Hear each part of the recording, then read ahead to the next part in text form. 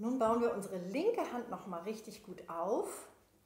Und zwar strecken wir ja da immer unseren linken Arm erstmal aus, dass der parallel zum Fußboden steht. Hier siehst du, er ist auch ziemlich parallel zu dem Bild hinter mir. Und dann klappen wir den einfach mal so ein, ohne den Ellbogen groß zu verändern. Und kommen ziemlich genau schon bei den Punkten an. Siehst du das? So, dann machen wir unser großes C und fädeln den kleinen Finger mal auf der D-Seite auf, der blauen, und den Zeigefinger mal auf und die anderen schön in der Mitte dazwischen. Jetzt gucken wir mal, ob wir das noch mal ein bisschen besser ins Bild kriegen. So gerade. Und dann nehmen wir das wieder zurück. Tupft der Daumen nochmal von unten, dass er schön locker ist. Der ist immer beim zweiten Finger, nur dann ist das Holz noch dazwischen. Aber genau beim zweiten Finger. Vierter aufbauen, erster aufbauen, die dazwischen nochmal durchkämmen, Daumen von unten tupfen und der Ellbogen bleibt die ganze Zeit so schön gerade hier. Jetzt ziehst du nochmal die Seite so richtig mit allen Fingern runter aufs Griffbrett dass da keine Luft mehr zwischen Griffbrett und Seite ist.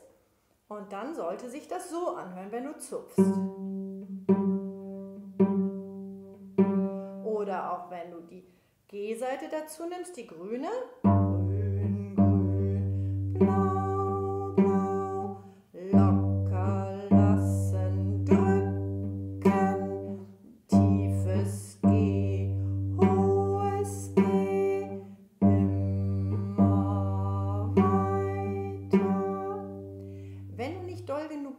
Dann klingt es ja manchmal irgendwie so.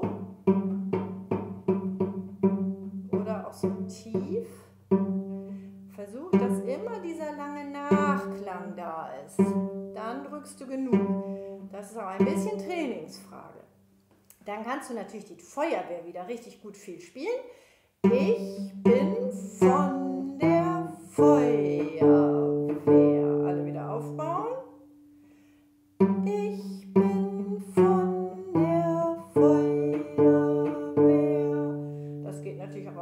Seiten. Ich bin von der Feuerwehr. Oder du spielst viele Lieder, die wir schon hatten, vom Weihnachtsmann. Oder was haben wir denn noch gespielt? Die Karawane kannst du spielen. Genau, und ein neues Lied kommt im nächsten Video.